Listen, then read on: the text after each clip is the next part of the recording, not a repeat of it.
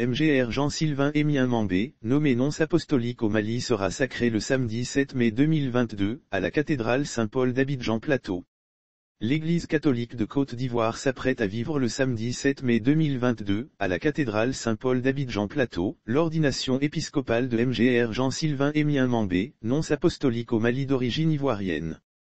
La deuxième personnalité du Saint-Siège Cette célébration sera présidée par le cardinal Pietro Parolin, la deuxième personnalité du Saint-Siège et consécrateur principal de cette messe.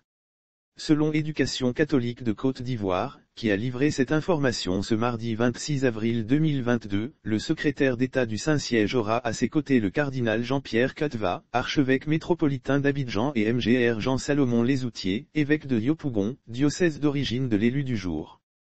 Nous invitons, les catholiques d'abord et puis toutes les autres confessions religieuses avec qui nous avons de très bons rapports de démontrer leurs amitiés, nous invitons, les catholiques d'abord et puis toutes les autres confessions religieuses avec qui nous avons de très bons rapports de démontrer leurs amitiés en venant nombreux non seulement à la messe d'ordination mais également à sa messe d'action de grâce qui aura lieu dans l'église centenaire de Saint-Pierre de Jacqueville, le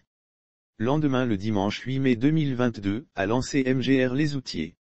Lire aussi France, MGR Laurent Ulrich est nommé archevêque de Paris. Rappelons que le Saint-Père, le pape François a nommé mercredi 2 février 2022, nonce apostolique au Mali MGR Mambé Jean-Sylvain Émien, qui était conseiller à la nonciature, lui conférant le siège titulaire de Potenza Pisanza, avec dignité d'archevêque.